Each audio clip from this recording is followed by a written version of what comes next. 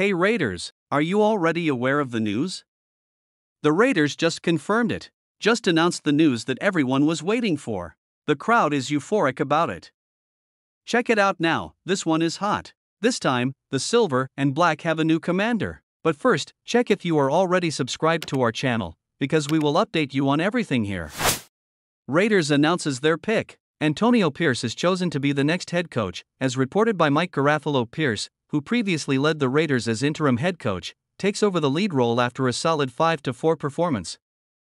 In the 2023 season, his initial mission as head coach will be to boost the offensive side by addressing challenges following the departure of several coaches, including interim offensive coordinator Bo Hardegree.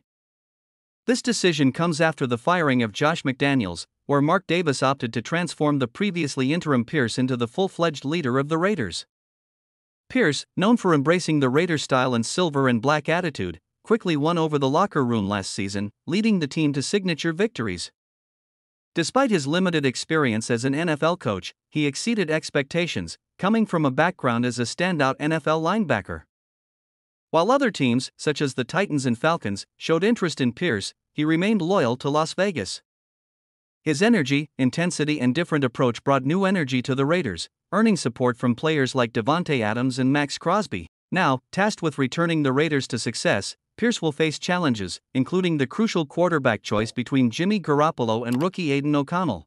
Plus, Josh Jacobs' impending free agency adds an extra layer of complexity. After years of ups and downs, the Raiders are looking to return to the glorious days of fall. Pierce, now in charge full time, is tasked with revitalizing the franchise, bringing joy back to fans and consistency to winning ways. Raider Nation can now celebrate this one. Let's go, Raiders!